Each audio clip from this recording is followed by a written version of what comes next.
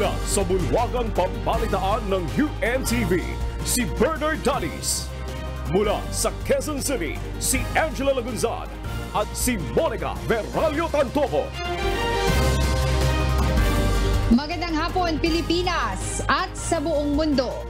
Ito ang balita.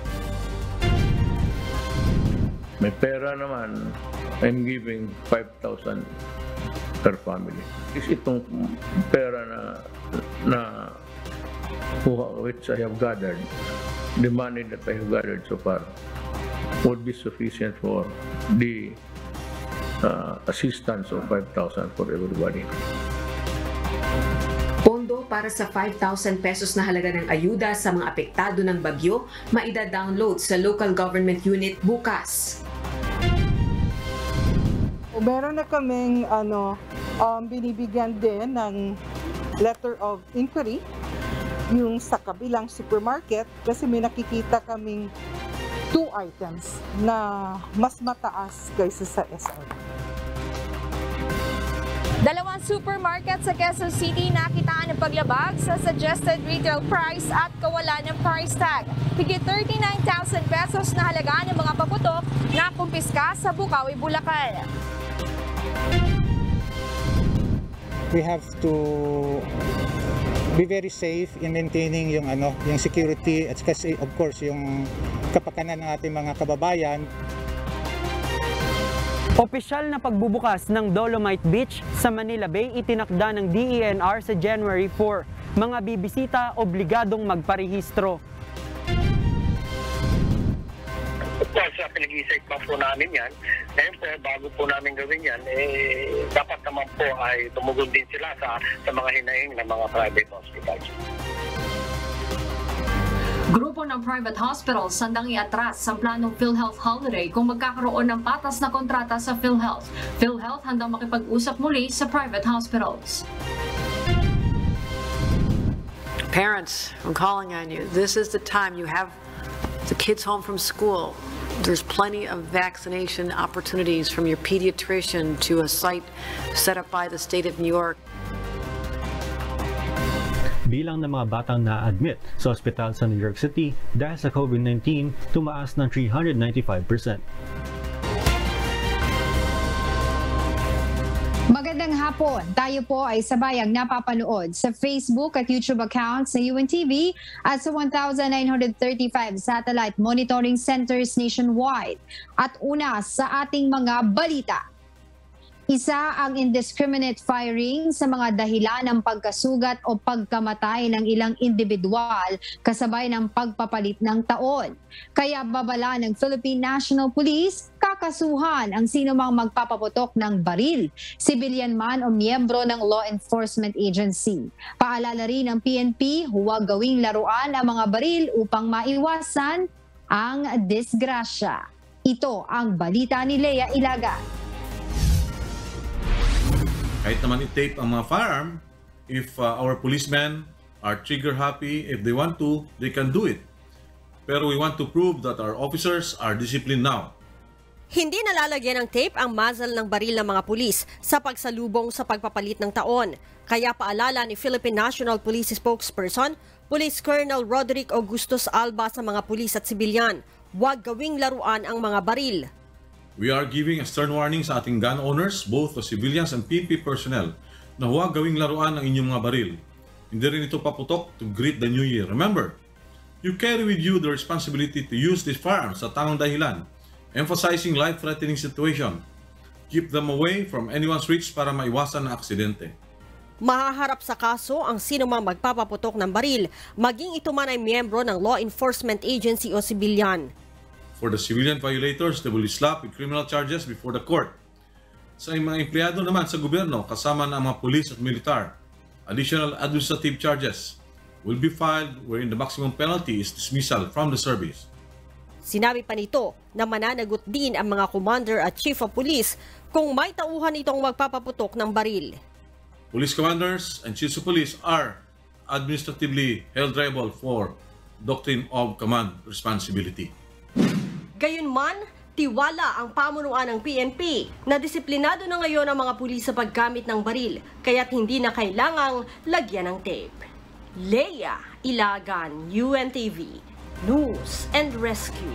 Diyos ang aming sandigan, serbisyo publiko ang aming pinahahalagahan. 23 na ang biktima ng paputok sa Pilipinas batay sa tala ng Department of Health ngayong araw. Lahat ng naitalang kaso ay dulot ng paputok. Pito sa mga kaso ay dahil sa boga. Limang walang label na paputok, tatlong kaso ay dulot naman ng 5-star. Tatlo naman ang nadisgrasya ng Piccolo, dalawa dulot ng Triangle, dalawa dahil sa whistle bomb at isang kaso dahil sa baby rocket. Wala pa namang naitatalang firework ingestion, stray bullet case o nasawi dahil sa paputok. gastos sa paggamot tuwing mga aksidente. Pangalawa, oras na igugugol sa pagkuha ng mga serbisyong pangkalusugan. Pangatlo, emosyonal na ka- kapital sa mga hindi kanais-nais na epekto ng mga aksidente.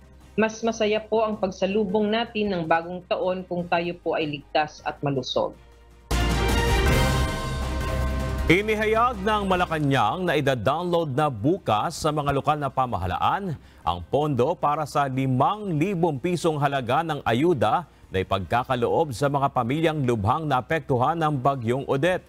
Ang mga LGU ang tutukoy kung sino-sino ang mga tatanggap ng ayuda at prioridad na mabigyan ang mga pinaka nasalanta. Ito ang balita ni Rosa Ricos. May pera naman, I'm giving 5,000 per family. Is itong pera na na which I have gathered, the money that I have gathered so far would be sufficient for the uh, assistance of 5,000 for everybody. Nagbigay na ng direktiba si Pangulong Rodrigo Duterte sa pamahalaan kahapon na magkaloob ng 5,000 pisong halaga ng ayuda sa mga pamilyang direktang naapektuhan ng bagyong Odette. Ayon kay Acting Presidential Spokesperson at Cabinet Secretary Carlo Nograles, bukas December 29 inaasahang maida-download o maita-transfer na ang pondo para sa ayuda sa mga lokal na pamahalaan. Yung sourcing po niyan, yan ang hinahanapan ngayon ng paraan ng DBM. But ang promise po is that uh, by tomorrow, uh, mada-download na po ang funds. So i- i- within the day, importante na ma-identify na po yung mga um, families um, na mabibigyan ng cash assistance. Uh, these are the most affected families. Nasa apat na bilyong pisong halaga ang tulong na ipamamahagi sa mga kababayang nasalanta ng kalamidad. Ang Department of Social Welfare and Development at Department of the Interior and Local Government ang tutulong sa mabilisang pamamahagi ng ayuda. Ayon naman kay Interior Secretary Eduardo Anyo, may mga panuntunan na kaugnay ng distribusyon ng financial aid gaya ng ginawa sa pagbibigay ng ayuda noong kasagsagan ng pandemya. Mahigit isang milyong pamilya ang biktima ng bagyong Odette at nasa kalahating milyong bahay ang nagtamo ng pinsala sa tindi ng epekto ng kalamidad. Rosa Licoz, UNTV News and Rescue. Diyos ang aming sandigan, serbisyo publiko ang aming pinahahalagahan. Pinag-aaralan pang mabuti ni Pangulong Rodrigo Duterte ang mga nakapaloob sa 2022 national budget. Ito ang dahilan kaya ipinagpaliban ng ceremonial signing ngayong araw. Tiniyak naman ng palasyo na ngayong linggo, malalagdaan ng Pangulo ang 5.024 trillion pesos na pambansang pondo para sa susunod na taon. Kailangan matiyak na mapirmahan ang 2022 national budget bago mag-December 31 upang hindi sa ilalim ng isang reenacted budget mag-operate ang pamahalaan sa susunod na taon. Oras na mapirmahan ng national budget, maaari nang magamit ang pondo para sa Odette recovery efforts sa January 3, 2022. Ilang araw na lamang po at uh, matatapos na rin yung re- review process and the President will immediately sign the budget. Uh, we just like to, we would want to assure and reassure the public that uh, the budget will be signed. Pipirmahan po ni Pangulong Duterte ang budget for 2022 uh, bago pa man sumapit ang December 31.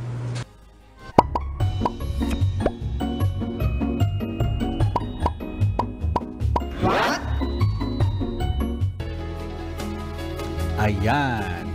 Weather update po tayo.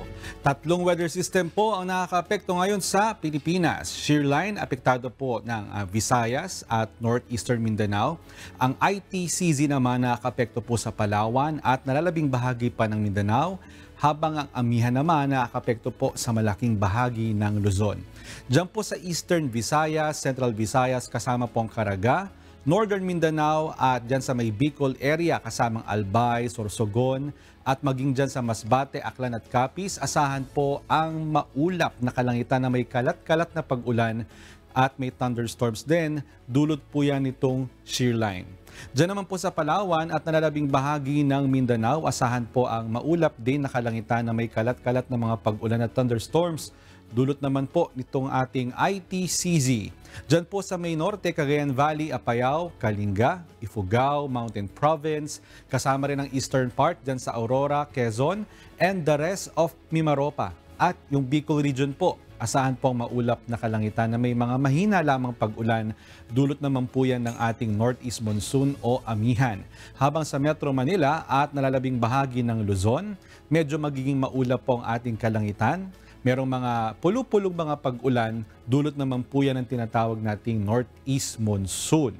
Sa ngayon po, ayon sa pag-asa, wala po tayo nakikitang anumang namumuong sama ng panahon hanggang weekend sana sa loob at labas ng Philippine Area of Responsibility. Yan po ang ating weather update. Dalawang araw na pansamantalang bubuksan sa publiko ang Dolomite Beach sa Manila Bay. Ngunit may ipinatutupad ng mga bagong regulasyon para sa mga nais bumisita rito. Ayon sa Department of Environment and Natural Resources, ito ang kanilang oobsebahan at magiging batayan kung itutuloy na ang opisyal na pagbubukas ng Dolomite Beach pagsapit ng January 4, 2022. Ito ang balita ni JP Nunez. Magandang umaga po sa inyo lahat. Piliin po natin maging maayos ang ating face, uh, face mask at ang ating total distancing.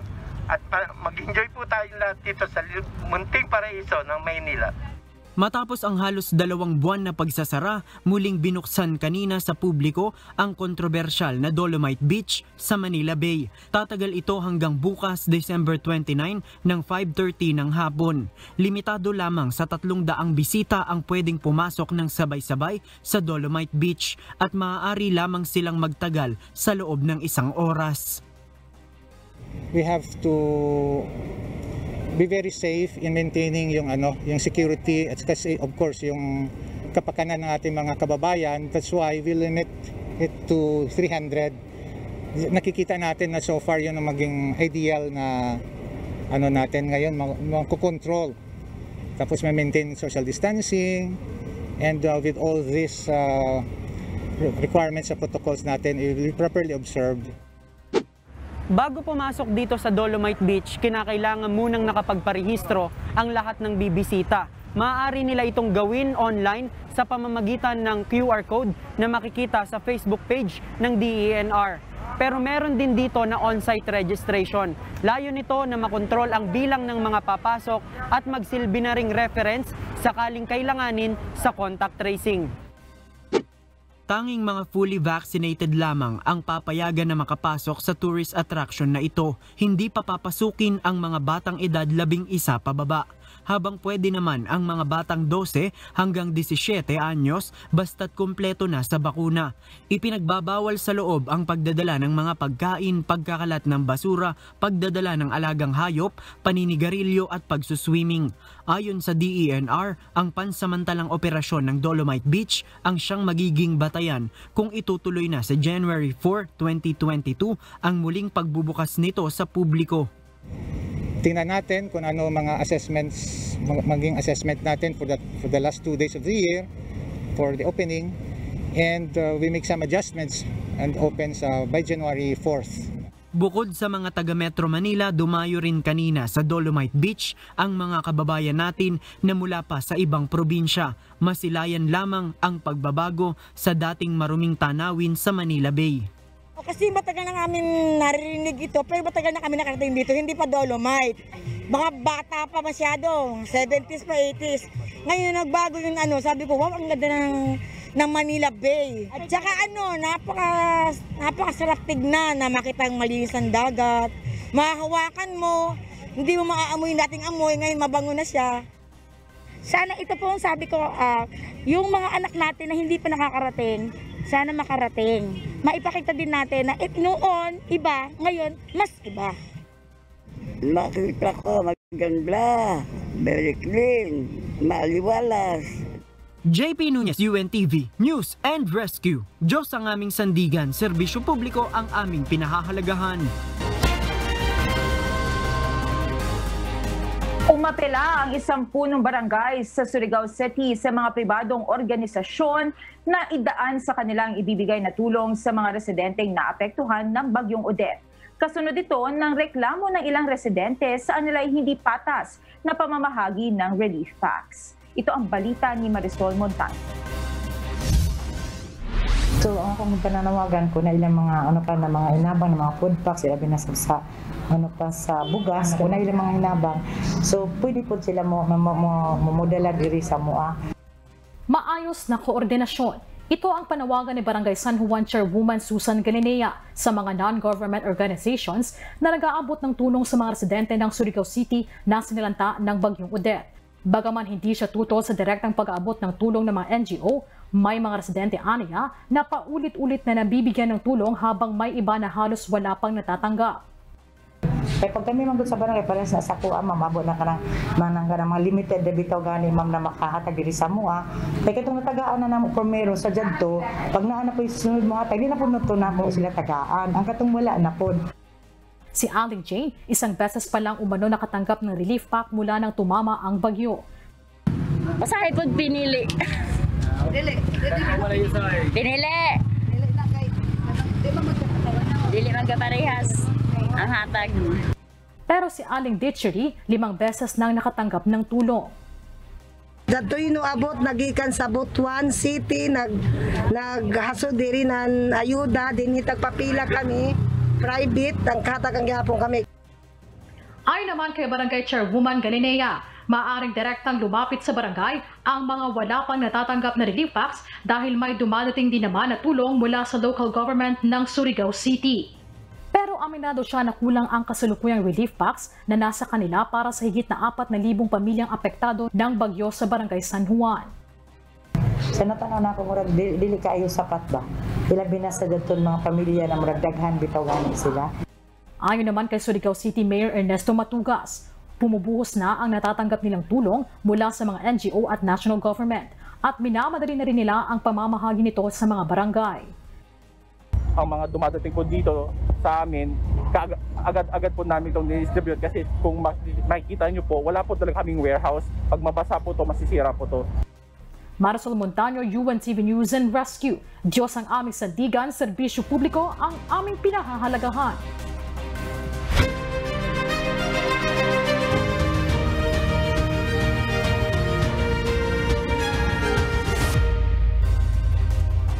Magsasagawa ng nationwide mock elections ang Commission on Elections bukas. Pero ayon sa COMELEC, hindi sila naghahangad ng mataas na turnout dito.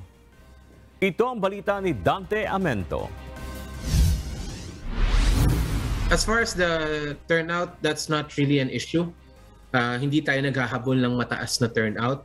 Ang hinahabol natin ay makita natin how the system performs. Gaya ng ginawang voting simulation kamakailan ng Commission on Elections, inihayag ni COMELEC spokesperson Director James Jimenez na hindi nila habol ang mataas na bilang ng mga lalahok sa nationwide mock elections bukas. Ang importante ay makita nila kung gumagana ba ng maayos ang kanilang sistema lalo na at nasa gitna ng pandemya ang halalan. End-to-end ang gagawing mock elections, ibig sabihin mula ito sa pagboto hanggang sa canvassing o pagbilang ng mga boto sa mga canvassing area na nakatalaga. National hanggang local positions ang iboboto ng mga kalahok, ngunit fictitious names o mga gawa-gawa lang at hindi tunay na pangalan ng mga kandidato ang nakalagay sa balota. Magsisimula ang botohan ng alas 7 ng umaga hanggang alas 5 ng hapon sa anim na probinsya sa iba't ibang panig ng bansa at dito sa National Capital Region ito gagawin. Sa Luzon, ito ay isasagawa sa Isabela at Albay. Sa Visayas Region naman ay sa Negros Oriental at Leyte. Habang sa Davao del Sur sa Mindanao. Dito naman sa National Capital Region, napili ang Pateros, lungsod ng Tagig at Pasay. At sa Bangsamoro Autonomous Region in Muslim Mindanao ay sa probinsya ng Maguindanao.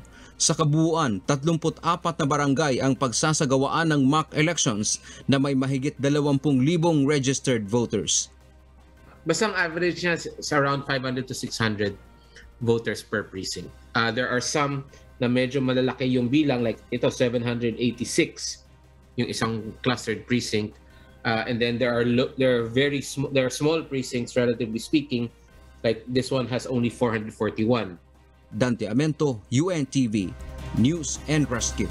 Diyos ang aming sandigan, serbisyo publiko ang aming pinahahalagahan.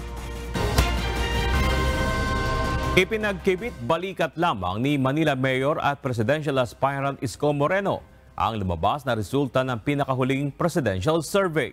Samantalang ang issue naman ukol sa Philippine Health Insurance ang pinuna ni presidential hopeful na si Senator Pampilo Lacson. Bukod sa kanila, may kani-kanyang aktibidad din na hinarap ngayong araw ang ilan pang kandidato sa pagkapangulo sa susunod na taon. Ito ang balita ni Nel Maribuho. Kinokonsidera ni Manila Mayor Isko Moreno Dumagoso ang libreng entrance fee sa bubuksang bagong bihis na Manila Zoo. Ayon kay Yorme, pagkatapos ng soft opening ng zoo sa December 30, ay mag-aanunsyo siya sa posibilidad na gawing libre ang pagpasok sa Manila Zoo sa buong buwan ng Enero. After that, just give us a few hours after the event or a day or two, we will make announcement uh, January libre.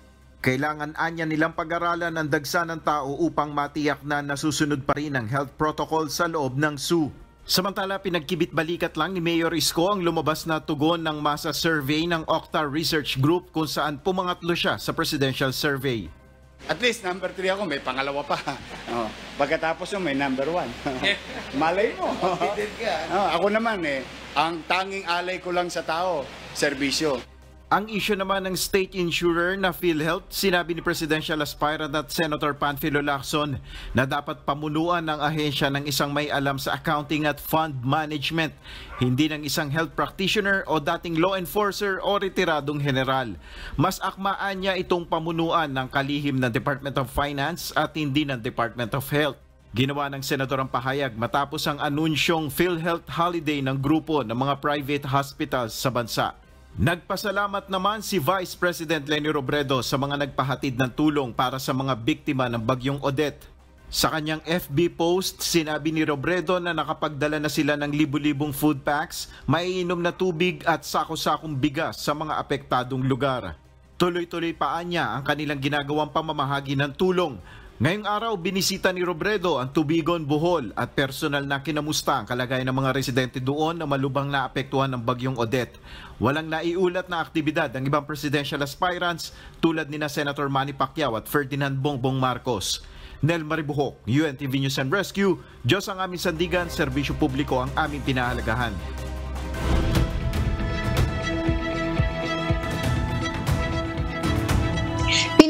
Ng mga health authorities sa Estados Unidos ang isolation period ng COVID-19 cases na asymptomatic o walang sintomas ng sakit. Mula sa sampung araw, ginawa na lamang itong limang araw.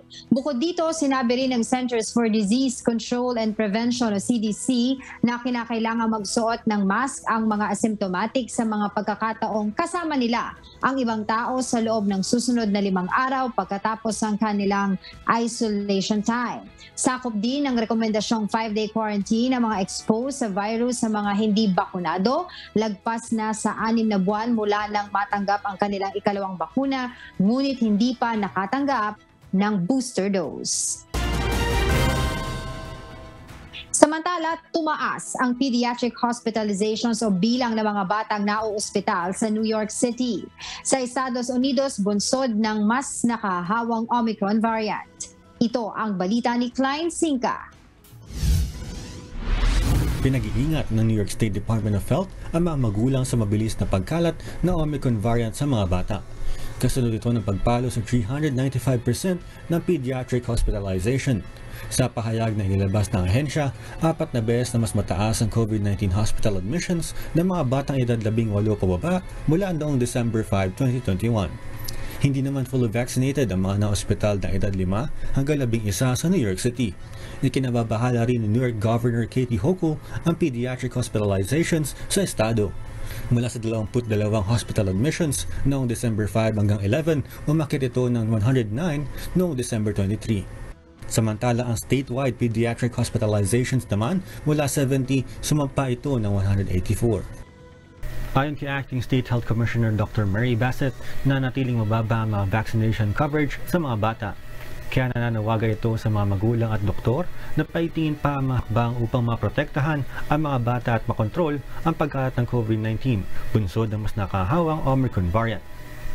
We need to get child vaccinations up. Uh, we need to get them higher than they are, particularly in the 5 to 11 year old age group. And pediatricians can play a role in this, advising parents. And parents can play a role in this, understanding that their children may become infected and may become sick. Parents, I'm calling on you. This is the time you have the kids home from school. There's plenty of vaccination opportunities from your pediatrician to a site set up by the state of New York, uh, our urgent care centers, so many places, drugstores, where you can go get your child vaccinated before they get back to school. Please do this for them. Ayon naman sa tala ng ahensya, nasa 27% pa lamang sa mga edad 5 hanggang 11 ang nakatanggap na at least one dose ng vaccine habang halos 71% naman para sa mga edad 12 hanggang 17. Klein Senka, UNTV News and Rescue USA. Diyos ang aming sandigan, serbisyo publiko ang aming pinahalagahan. Aminado si testing SAR Vince Dizon na malabo nang maabot ang vaccination target ng pamahalaan para sa 2021 na 54 na milyong Pilipino. Ngunit ayon sa Department of Health, kaya pa itong habulin sa unang bahagi ng papasok na taon. Ito ang balita ni Aiko Miguel. So as to this 54 million, ang atin pong target ay by the end of the year and to spill over hanggang first quarter of next year. Naabot ng pamahalaan ang 7.49 million target na mabakunahan kontra COVID-19 sa round 2 ng national vaccination coverage ng pamahalaan nitong December 15 hanggang 22. Ngunit dahil marami rin ang apektadong lugar dahil sa pananalasa ng bagyong Odette, marami ring mga Pilipino ang hindi nababakunahan pa at may mga hindi pa nakakakompleto ng kanilang second dose. Ayon sa DOH, kung hindi man maabot ang 54 million na mga Pilipinong fully vaccinated sa katapusan ng 2021, maaari pa rin naman itong maabot pagpasok ng taong 2022. So we are still going to pursue to reach our targets by the first quarter of next year. And ang tignan na po natin, itong 56.8 million po na naka-first dose natin, hopefully po we will have their second doses at maipataas pa ho natin ang ating coverage for the fully vaccinated. Magandang indikasyon din ang nakita ng DOH sa dami na rin ang nabakunahan na kahit paano'y dumami ang nagtiwala sa proteksyong maibibigay ng COVID-19 vaccines. What will be important for all of us is that we were able to improve so much on our vaccination comparing this from the first, the second and third quarter of this year. Ito pong fourth quarter of this year ay tumaas po talaga ang ating pagbabakuna. Sa ngayon ay 56.9 million na mga Pilipino na ang nakatanggap ng kanilang first dose at 47.86 million naman ang fully vaccinated na kontra COVID-19. 1.5 million naman ang nakatanggap na ng kanilang COVID-19 booster dose. Samantala ayon sa DOH, may mga batayan ang pamahalaan sa pagdedesisyon kung maaring magluwag o kailangang higpitan pa ang alert level sa Pilipinas. Kabilang sa sinisilip dito ang health system capacity, case trend ng Pilipinas, vaccination coverage at safety seal ng mga establishmento. Ang isa pa sa talagang ikinukonsidera ngayon ng Department of Health bago magluwag ng alert level kahit nasa minimal risk classification ang bansa ay ang banta ng Omicron variant of concern gusto rin natin makita yung uh, effect din ano at saka yung pagpasok nitong uh, Omicron variant kung sakasakali. So we are guarding against that. So hindi po tayo pwedeng basta magbukas ng mas malawak at mag-ease ng restrictions, lalong-lalo na ngayon that we are trying to prevent the entry of this new variant dito sa ating komunidad. So pag-uusapan sa IATF to, Malinaw ngayon ayon sa DOH na sa sitwasyon ng Pilipinas, hindi pa handang ibaba sa pinakamaluwag na alert level ang buong bansa, lalo na at may apat na kumpirmadong kaso na ng Omicron variant of concern. Abala ngayon ang mga otoridad na planuhing maigi ang mga hakbang kung paano maagapan ang pagkalat nito sa mga komunidad at maagapan ang panibagong surge ng COVID-19 cases pagpatak ng bagong taon. Aiko Miguel, UNTV News and Rescue. Diyos ang aming sandigan. Serbisyo publiko ang aming pinahahalagahan. Kinumpirma ni Department of Health spokesperson Undersecretary Maria Rosario Berheri na nagpositibo rin sa COVID-19 ang asawa ng ikaapat na Omicron variant case sa Pilipinas. Ito ay isang 37 years old na lalaking Pilipino. Ayon sa DOH, sabay silang dumating sa Pilipinas galing sa Estados Unidos noong December 10. Nakumpleto nila ang kanilang one-day isolation sa isang facility at na-discharge sila na parehas na asymptomatic.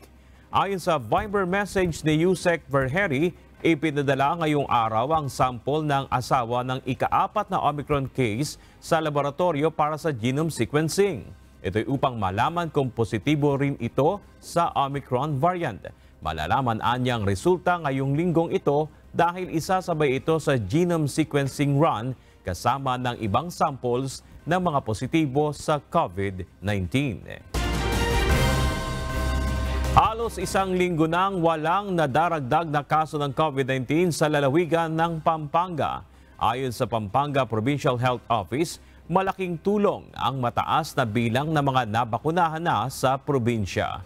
Ito ang balita ni Leslie Widem. Actually, sa ngayon, ang Pampanga, zero for the past one week, two weeks, ganun negative na. Yes, wala. Walang nag-positive uh, for the last one week. Mahigit 80% na ng eligible population ang bakunado na sa probinsya ng Pampanga. Ayon kay Pampanga Provincial Health Office Chief Dr. Sinon Ponce, ang mataas na vaccination rate marahil ang dahilan kung bakit patuloy sa pagbaba ang kaso ng COVID-19 sa lalawigan. Sa katunayan, halos isang linggo nang walang nadadagdag na kaso ng COVID-19 sa Pampanga. Sa datos ng Provincial Epidemiology and Surveillance Unit, as of December 27, 2021, aabot na sa labing walong bayan ang walang aktibong kaso ng COVID-19 sa Pampanga. Ito ay ang Magalang, Florida Blanca, Guagua, Lubao, Porac, Sasmuan, Santa Rita, Arayat, Bacolor, Mexico, Apalit, Candaba, Macabebe, Minalin, San Simon, Santo Tomas, San Luis at City of San Fernando. Ang mga senior citizen naman na hindi na makapunta sa mga vaccination site, sinasadya na ng mga health officer sa bahay upang mabakunahan house to house. Kukunti na lang hindi na bakunahan. Yung iba dahil nga talagang uh, ayaw na, matanda na sila. Uh, kukunting-kunti na lang, ilang percent na lang hindi na bakunahan. Bukod dito, libre sa Pampanga ang antigen at RT-PCR test kung kaya't ang mga may sintomas ng COVID-19 agad umano nilang nasusuri. Sa kabila ng bumababang bilang ng kaso ng COVID-19 sa Pampanga, hinihikayat ng Provincial Health Office ang mga kabalin na huwag masyadong pakakampante at lagi pa rin sumunod sa health protocols upang maiwasan ang nakamamatay na virus. Leslie Widem, UNTV News and Rescue. Diyos ang aming sandigan, serbisyo publiko ang aming pinahalagahan. Nakababawi na sa mga lugi ang ilang negosyante sa kabila ng banta ng Omicron variant. Ayon sa isang tagapayo ni Pangulong Rodrigo Duterte, hindi nangangaba mga pribadong sektor kahit muli pang tumaas ang bilang ng COVID-19 cases sa bansa. Ito ang balita ni Asher Tadapan Jr.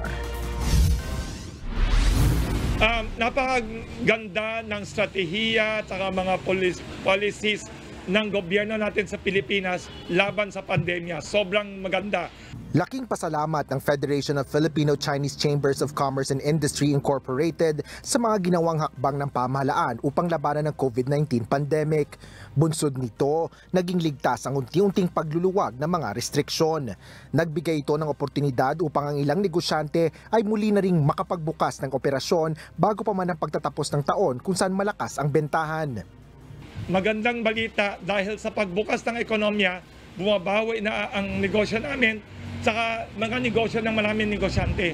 Ah, nagbubukas na ang maraming mga negosyo, paliliit, malalaki. Napakaganda ng takbo ng ekonomiya. Hiling na lang ng Filipino-Chinese businessmen magpatuloy ang mga strategiya at health protocols na ipinatutupad ng pamahalaan kontra COVID-19. Para naman kay Presidential Advisor for Entrepreneurship Joey Concepcion, basta bakunado kontra COVID-19 ang mga mamamayan at may booster shot pa ang mga kwalipikado ng kumuha nito, wala nang dapat ipangamba. Paliwanag ni Concepcion, ito ay dahil hindi na kailangang magpa-ospital pa mga karamihan ng mga posibleng mahawa pa ng naturang sakit dahil sa proteksyon na ibinibigay ng bakuna. Kampante ang pribadong sektor na hindi nakakailanganin ng mahigpit na restriksyon at malawakang lockdown kahit sa banta ng Omicron variant kung saan limang kaso na ang nakumpirma sa bansa.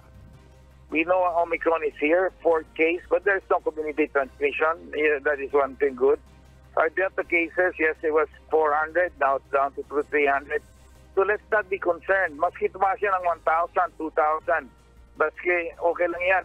Pag vaccinado na lahat ng mga tao natin dito. If you're fully vaccinated and boosted, for those who are able to boost it, you're fully protected. Para sa tagapagpayo ni Pangulong Rodrigo Duterte, mahalaga na mapanatili at mapalakas ang patuloy na pagbabalik sigla ng ekonomiya ng bansa dahil makatutulong ito sa pangungulekta ng pamahalaan ng buwis na magagamit sa tuloy-tuloy na pagbabakuna at pagbibigay proteksyon sa mamamayan. Asher Kadapan Jr., UNTV News and Rescue, Diyos ang aming sandigan, serbisyo publiko ang aming pinahalagahan. Handang iatras ng grupo ng private hospitals ang planong PhilHealth Holiday. Anila, ito ay kumasi siguro na ang patas na kasunduan sa pagitan ng mga ospital at ng state insurer. Nakahanda naman ang PhilHealth na makipag-usap sa mga pribadong ospital upang maayos ang issue ayon sa ahensya. Ito ang balita ni Herlene Delgado. Of course, uh, pinag-iisip pa po namin yan. Ngayon po, bago po namin gawin yan, eh, dapat naman po ay tumugon din sila sa, sa mga hinaing ng mga private hospitals.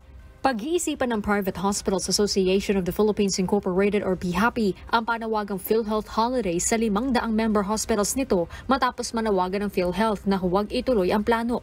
Nais ng grupo na pansamantalang itigil ng kanilang mga miyembro ang pagtanggap ng PhilHealth claim deductions mula January 1 hanggang 5 bilang pagsuporta sa ilang ospital na hindi pa nababayaran ng PhilHealth at gusto nang kumalas sa state insurer. Ayon kay PHAPI President Dr. Jose Rene de Grano, nakahanda silang iat iatras ang plano kung makikipag-usap sa kanila ang ahensya at gagawing patas ang kontrata sa pagitan ng PhilHealth at private hospitals.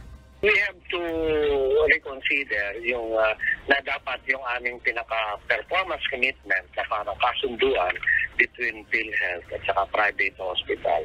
Dapat po yan ay uh, suring mabuti para po equal po ang footing ng PhilHealth at saka ng uh, private hospital. Ibig sabihin po, patas po. Hindi po katulad ng na medyo masyadong pabor po sa PhilHealth. Ay, kaya po nagkaroon tayo ng mga problema sa mga pagbabayad na nakikita po natin ngayon. Ayon sa PhilHealth, nakapagbayad na sila ng 11.6 billion pesos sa pamamagitan ng Debit Credit Payment Method o DCPM. Nasa 182 hospitals na anila ang nagpahayag na sasali sa ikatlong bugso ng DCPM.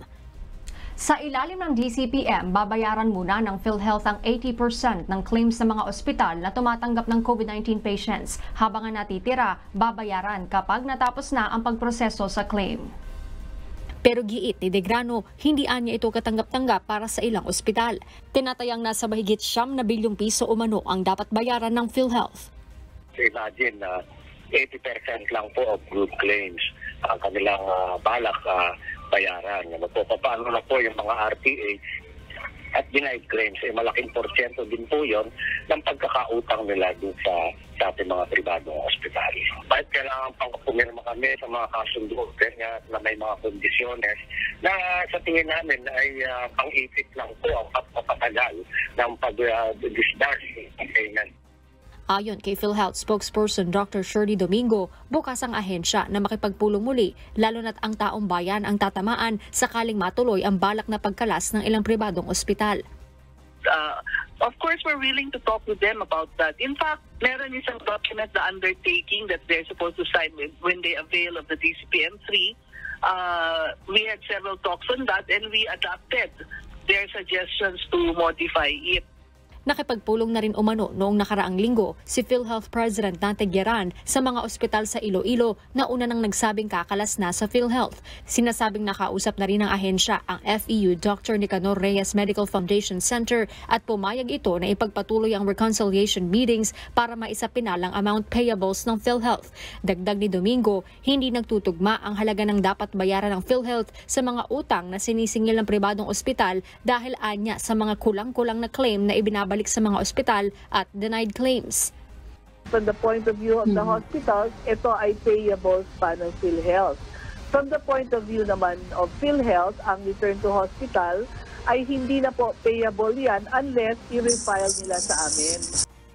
Hindi pa naman masabi ng PhilHealth kung magkano ang utang nito sa mga ospital. Umaabot kasi sa 39,000 ang average claims na natatanggap ng PhilHealth kada araw habang nasa 2.5 billion pesos ang binabayaran ng ahensya kada linggo. Sa kabuuan, nasa 165 billion pesos na umano ang naibayad ng PhilHealth sa kasagsagan ng COVID-19 pandemic.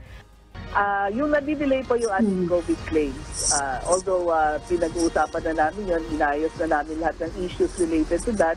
Kaya hopefully mapabilis na rin ang pag-process ng ating mga COVID claims. Horlene Delgado, UNTV News and Rescue. Diyos ang aming sandigan, serbisyo publiko ang aming pinahahalagahan.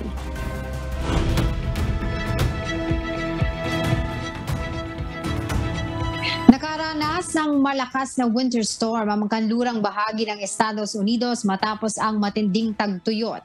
Maraming snow ang ibinuhos nito sa mga kabundukan ng California at nagdulot naman ng mga suliranin sa pagbiyahe sa malaking bahagi ng lugar.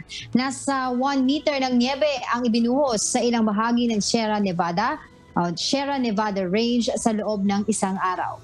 Libo-libong individual naman ang nakaranas ng electricity outage at may mga kalsada ring hindi madaanan.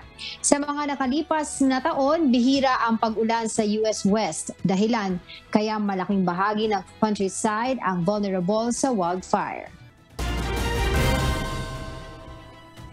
Nilagdaan na ni US President Joe Biden ang pinakamataas na military budget ng bansa. Nagkakahalaga ang defense policy ng 770 billion US dollars o 38.7 trillion pesos. Ito ang balita ni John Ray Bolivar. Nilagdaan ni US President Joe Biden ang 777.7 billion US dollar annual military budget ng bansa Higit na mas mataas ito sa military budget na 740 billion US dollars sa administrasyon ni former President Trump. Ito ay sa kabila ng pagtutol ng progressive groups na naniniwalang mas dapat na mapagtuunan ang pamumuhunan sa domestic priorities, lalo na't kasunod ng pag-atras ng US sa Afghanistan. Naipasa sa Senado ang NDAA bill noong December 15 at inaprobahan ni Biden ang military budget. Walong araw pagkatapos na magpahayag si Democratic Senator Joe Manchin ng West Virginia ng pagtutol laban sa Build Back Better legislation. Ang military spending na ito ng Estados Unidos ay itinuturing na pinakamataas sa buong mundo, higit pa sa China na pumapangalawa sa mga bansang namumuhunan ng malaki sa mga gamit pang militar. Ito rin ang tinutukoy na dahilan ng pagsang-ayon ng ilang mambabata sa nasabing bill na naniniwalang di dapat mahuli ang US sa pagsulong sa defense capabilities at defense system nito, kabilang ang pagdadagdag pasahod sa US Armed Forces. Samantala, nagpahayag naman ang White House ng pag-aalinlangan sa patuloy na funding ukol sa Guantanamo Bay Military Detention Facility detainees na mailipat sa US at iba pang mga bansa. Region Bolivar, UNTV News and Rescue. Diyos ang aming sandigan. Serbisyo publiko ang aming pinahahalagahan.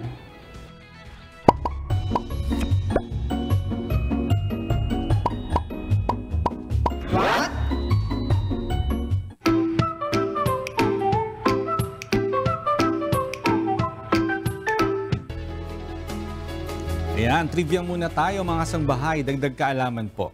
Sino po sa inyong mahilig magpuyat? Yan. Alam nyo ba na mas nakakataba kung tayo ay kulang po sa tulog?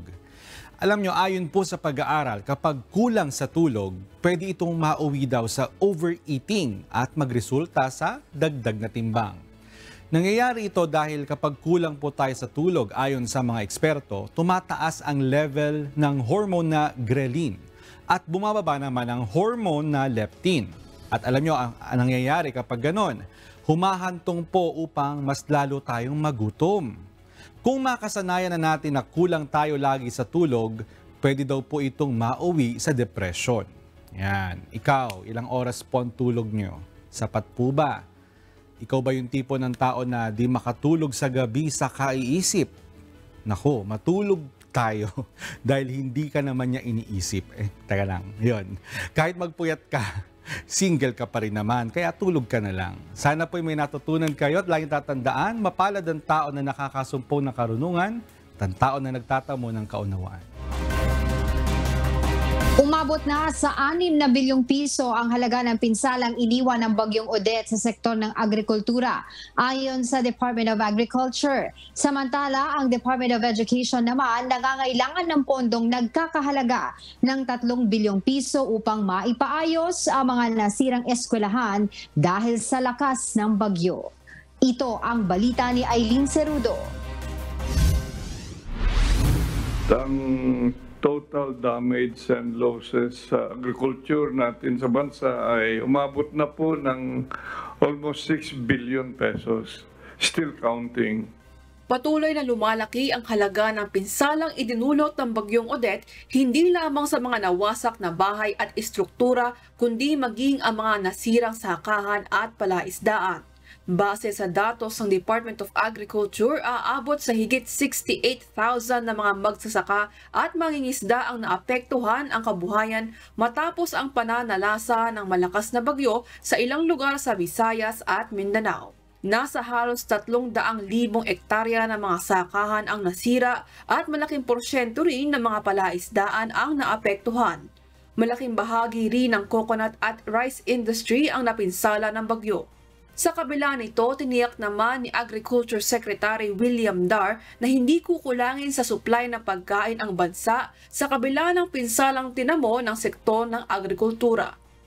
We do not have a big problem in terms of rice.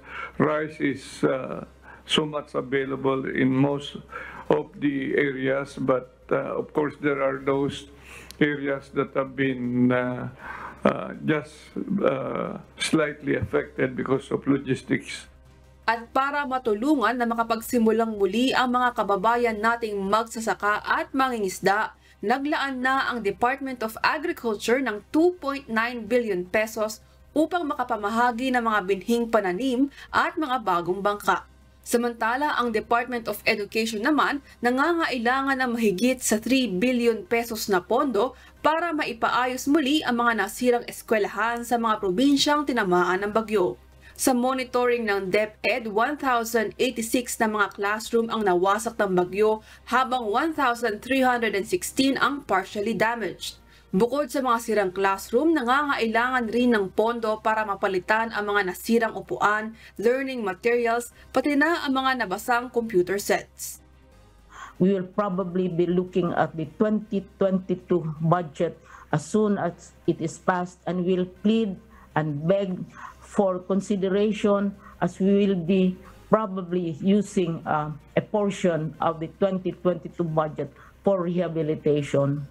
Sa datos ng DepEd, nasa 656 sa mga public school ang kasulukuyang nagsisilbing evacuation centers sa mga kababayan nating nawala ng tirahan matapos ang nagdaang bagyo. Sa kabila ng pinsalang iniwan sa mga paaralan, desidido pa rin ang DepEd na ituloy ang planong expansion ng limited face-to-face -face classes sa susunod na taon sa layuning maibalik muli sa normal na sistema ang pag-aaral ng mga estudyante. Eileen Cerudo, UNTV News and Rescue, Diyos ang aming sandigan, serbisyo publiko ang aming pinahahalagahan. Muling nag-inspeksyon ngayong araw ang Department of Trade and Industry o DTI sa ilang supermarket sa Quezon City kung saan natsyempuhan na walang price tag ang ilan sa mga ibinebentang produkto na karaniwang mabibili tuwing holiday celebrations. Bukod dito ay kinumpis ka rin ng DTI ang libo-libong pisong halaga ng mga iligal na paputok na ibinebenta sa Bukawe, Bulacan. Ito ang balita ni Janice Hente.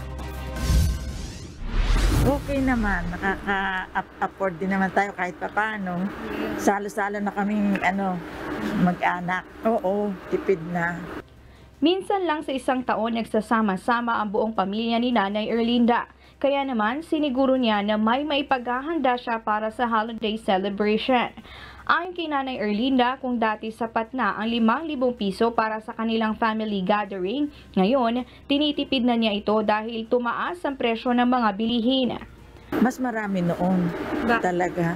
Eh kasi mabababa ang presyo noon kaysa sa ngayon, siyempre. Tapos pandemic pa. Uh, kanya mahirap. At least nakakaraos din tayo kahit papano at para masigurong hindi naaabuso ang kapakanan ng mga mamimili. Sorpresang nag-inspeksyon muli ang Department of Trade and Industry sa ilang supermarket sa Quezon City. Pinuntahan ng DTI ang dalawang kilalang supermarket sa Quezon City na napag-alamang nagbebenta ng mga produkto na mas mataas sa itinakdang suggested retail price. Dahil dito pinagpapaliwanag ng DTI ang may-ari ng supermarket kung bakit lagpas sa SRP ang presyo ng ilan sa kanilang ibinebentang produkto. Meron na kaming ano, um, binibigyan din ng letter of inquiry yung sa kabilang supermarket kasi may nakikita kaming two items na mas mataas kaysa sa SRP. You have to remember, this is suggested retail price. Pag SRP kasi, ang binibigay natin is a letter of inquiry and they're given three days to correct to, or to explain. Natsyempohan din kanina ang isang supermarket na walang price tag ang mga nakadisplay na produkto na karaniwang mabili tuwing holiday celebrations. Kahapon, isa pang supermarket sa Quezon City ang inisyuhan ng letter of intent para pagpaliwanagin dahil wala ring price tag ang ilan sa kanilang paninda. Paliwanag ng DTI, obligasyon ng mga supermarkets, grocery stores at iba pang pamilihan ang paglalagay ng price tag sa mga produkto na kanilang ibinebenta. Sa ganitong paraan, malalaman ng isang mamimili kung nakakasunod sa SRP at makanduwiran ba ang presyo ng isang produkto na kanyang bibilhin, kaya't may iwasan ang pananamantala sa mga consumer. Pero dapat kung saan siya nakalapwesto, dapat may price tag siya. Siyempre yung price tag kasi that's a violation of a provision of of the Consumer Act. So there is a price tag requirement, so the administrative fines can apply, but of course it goes through a process. I would urge the establishment to comply right away. Matapos ikutan ng ilang supermarket, muling nagtungo ang DTI sa mga tindahan ng paputok sa Bukawi, Bulacan kanina.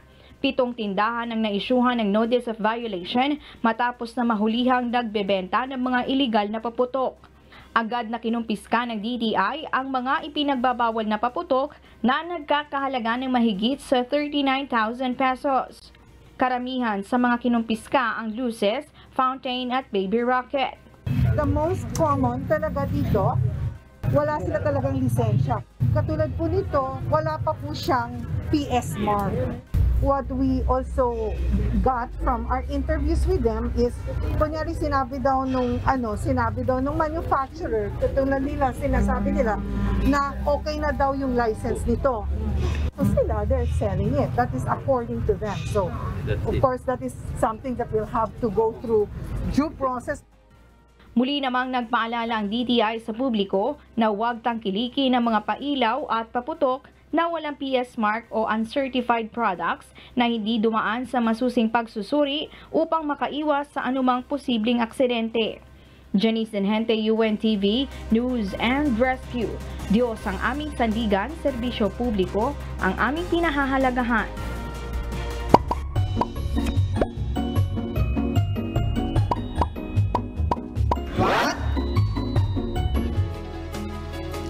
Para naman po sa ating COVID-19 updates, mga data po from DOH from December 24 hanggang ngayong araw. Sa kabuuan ay nasa 2,839,111 confirmed COVID cases sa bansa. And today naitala 421 na bagong kaso. Mas mataas ng 103 kumpara kahapon. Umaabot naman sa 9,750 ang bilang ng mga aktibong kaso. Mas mababa ng 171 kumpara kahapon. Sa bilang po ng mga gumaling, nasa 2,778,148 po. At ngayong araw may nadagdag na 248 na mga bagong recoveries. Sa bilang po ng mga nasawi, nakapagtala ang DOH ng dalawa ngayong araw at ang kabuuan umaabot na sa 51,213. Sa buong mundo naman, nasa 281,411,799 ang COVID cases. Nasa 5,406,964 naman ang mga nasawi at umaabot na sa 8,984,457,550 ang vaccine doses administered. Yan po ang ating COVID updates.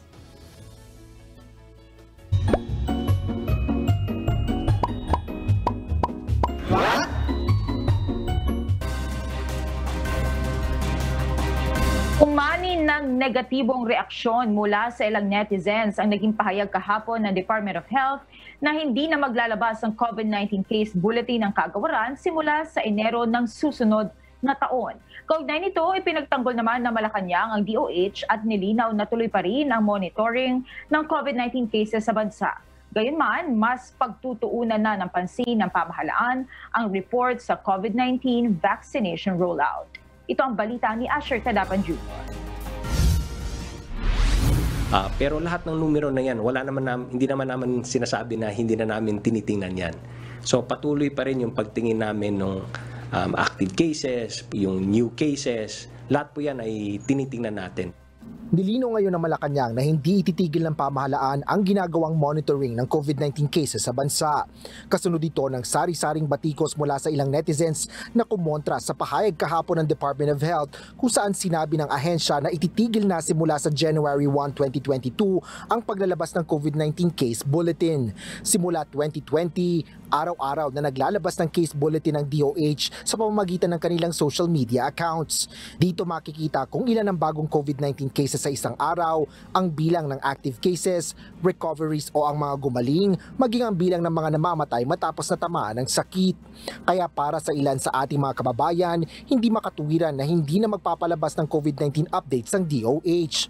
Sa komento ng isang netizen, sinabi nito na trabaho ng DOH ang public health communication na dapat magawa sa lahat ng uri ng platforms. Kinuwestiyon rin ng isa pang netizen kung papaano ipapaalam sa publiko sakaling meron muling surge ng COVID-19 habang may iba naman ang nagsabing hindi dapat katamaran ng DOH ang pagbibigay ng mahalagang impormasyon na dapat malaman ng publiko.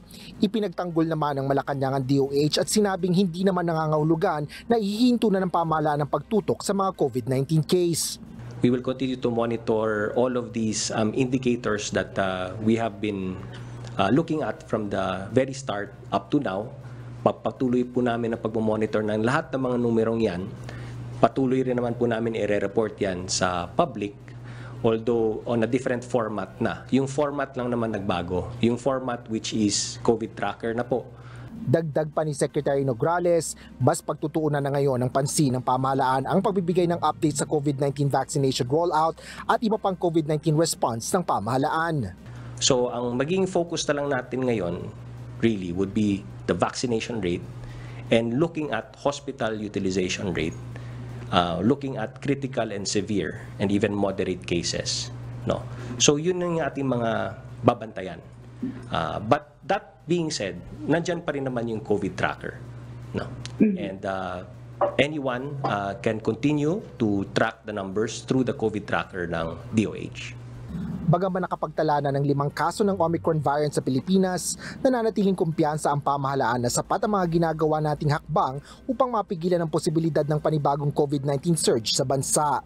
Asher Kadapan Jr., UNTV News and Rescue.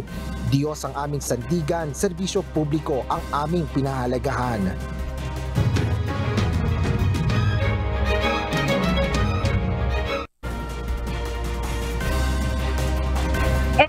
Nag-enjoy ang mga turista sa Baguio City dahil sa nakakangatog na lamig na 12.5 degrees Celsius na temperatura. Kaya sa mga planong umakyat ngayon sa City of Pines, huwag kalimutang dalhin ang inyong mga pagginaw. Ito ang balita ni John Paul Alvarado. Ngayon lang po kami pumasya. Sa sobrang lamig po, naka-double jacket na nga po ako eh. Sa sobrang lamig, lahat po ng tao eh, naka-jacket na. Kung hindi ka sanay sa lamig sa Baguio City, kapag ganitong panahon kagaya ni Lay Asuncion, kailangan mong magdoble ng jacket upang hindi ka manginig sa tindi ng lamig. Lalo na ngayong araw kung saan naitala ang 12.5 degrees Celsius sa City of Pines kaninang alas 5 ng madaling araw. Kaya naman ang mga turista enjoy na enjoy sa malamig na panahon para pasyalan ang mga tourist attraction sa Baguio. Okay naman po, masaya po. Maliwalas po, malinis, mga disiplinado po mga tao. Sa mga napuntahan po namin, sa, tulad po ng Laperal White House po, yun po, okay rin po, maganda rin po. Sa mansion, saka sa Burnham Park po, okay po. Sa datos ng Pag-asa Baguio, December 10 na itala ang pinakamababang temperatura sa lungsod na 11.5 degrees Celsius bagaman ilang araw pa ang natitira bago ang pagpapalit ng taon. Inaasahan na ng Baguio LGU na mas marami pang turista ang magtutungo sa syudad bago matapos ang taon. Kaya paalala nila sa mga bibisita sa lungsod, maging responsableng turista na sumusunod sa ipinapatupad na health protocols. Ayon sa pag-asa, maaaring maranasan ang mas malamig na temperatura sa Baguio sa Enero hanggang Pebrero ng susunod na taon. John Alvarado, UNTV News and Rescue. Diyos ang aming sandigan, serbisyo publiko ang aming pinahahalagahan.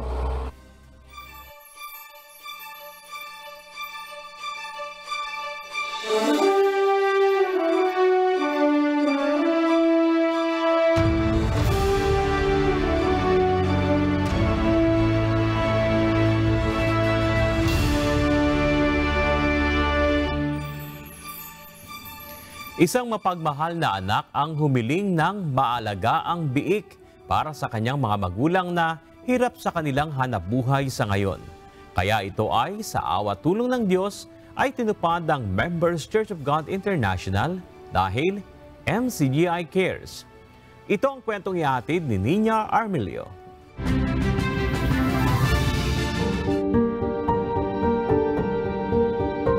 Gusto ko makatapos ng aking pag-aaral para po matulungan si mama at si papa pagdating ng araw. Ang makapagtapos ng pag-aaral ay isa sa mga pangarap ni Mary Joy Calastre. Dalawa silang magkapatid na itinataguyod ng kanilang mga magulang. Subalit, paano ang panusto sa kanilang pag-aaral kung sa pagsasaka ay mailap ang kita? Gaya ng maraming magsasaka sa Occidental Mindoro, walang sariling bukid na masasaka ang kanilang pamilya.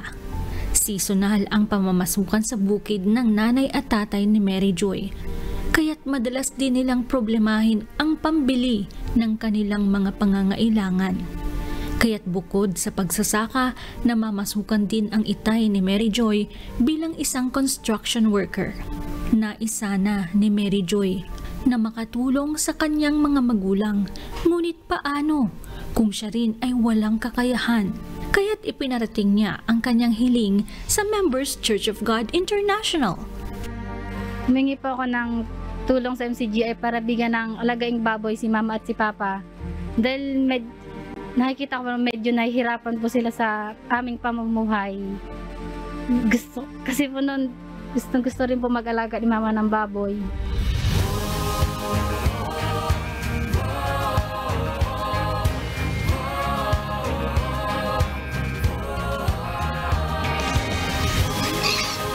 Nagluwat ay dalawang biik ang sorpresang dumating sa tahanan ng mga kalastre.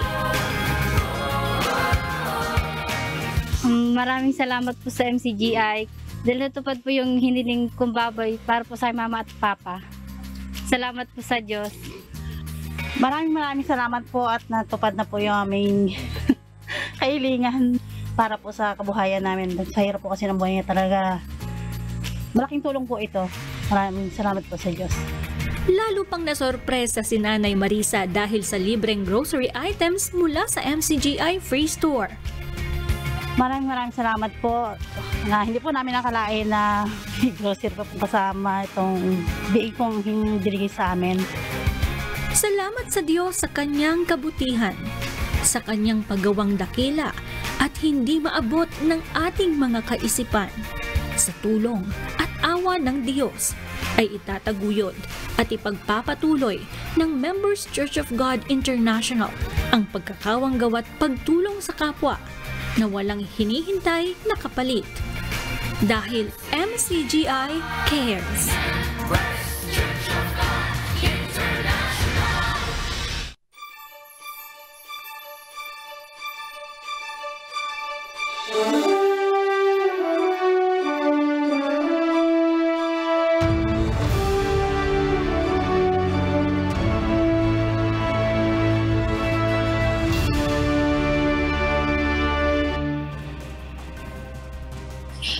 Mga kasangbahay, kung may mga istorya po kayong nais balikan sa Ito Ang Balita, pwede niyo po ito muling mapanood sa aming mga official social media account.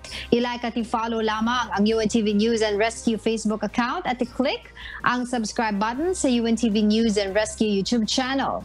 Mapapanood niyo rin po sa pamamagitan ng 24-7 live streaming ng UNTV News and Rescue YouTube channel ang iba pang news programs ng UNTV, pati na iba pang video na nag-iisang public service channel. Kaya subscribe, like, and share. Sa gitna ng krisis na nararanasan ng buong mundo dahil sa COVID-19 pandemic, kayo po ay aming inaanyayahan na makiisa sa Global Prayer for Humanity. Ito ay ating isinasagawa lunes hanggang biyernes tuwing alas 9.30 ng gabi. Ito po ay nakastream ng live sa lahat ng social media accounts ng Members Church of God International.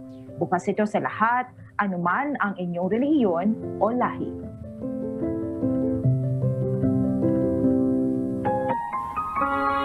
At sa ating iiwang mga salita ng Diyos na ating sandigan, mula sa aklat ng unang Juan, Kapitulo 2, versikulo 16. Sapagkat ang lahat na nangasa sa sanglibutan, ang masamang pita ng laman, at ang masamang pita ng mga mata, at ang kapalaluan sa buhay, ay hindi mula sa Ama, kundi sa sanglibutan.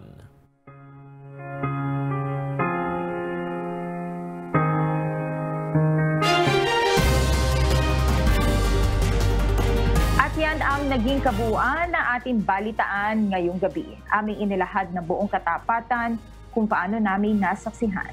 Kayo makapagtitiwala ng aming nakita at narinig ang aming ibinabalita. At dito sa UNTV, Diyos ang aming sandigan, serbisyo publiko ang aming pinahahalagahan. Magandang gabi.